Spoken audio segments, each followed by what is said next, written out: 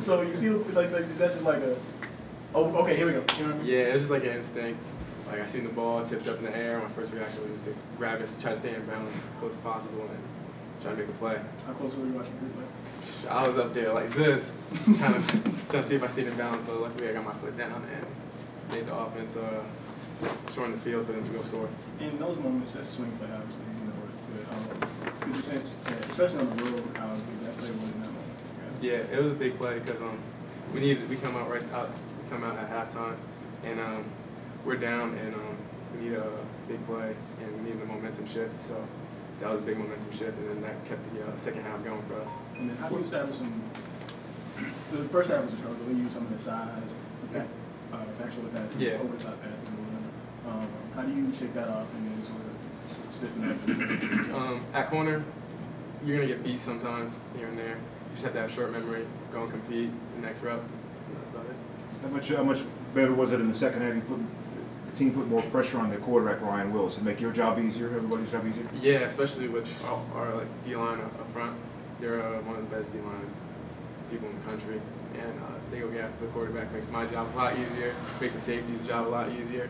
And when we all play with technique, I mean, can happen. You could see that change in the second half, how you were going after him a little bit more. Yeah, feel you would do, I mean, the secondary or the defense had 13 interceptions. We feel neglected a little bit there? or- I mean, not really. Everyone's everyone's a baller. Everyone, uh, I mean, we talk about it in the locker room. They're like, yeah, yeah, but you need to get your pick too. And I was like, yeah, shoot. So I got mine, and we just have to keep on playing lights out. Next one thing with the road win, especially here, you know what I mean, going into, you got a big event. Terms of confidence, and then also being the team you want to be, right, in this, in this conference, like how big is it? Uh, It's a huge win, especially uh, after like last year, two years ago. Also, this is a great win. It gives us a lot of confidence going into next week against Clemson, especially we're playing them at home, and um, it's gonna be a great game. how quickly did it take for you to find the Clemson kind of quick, I guess.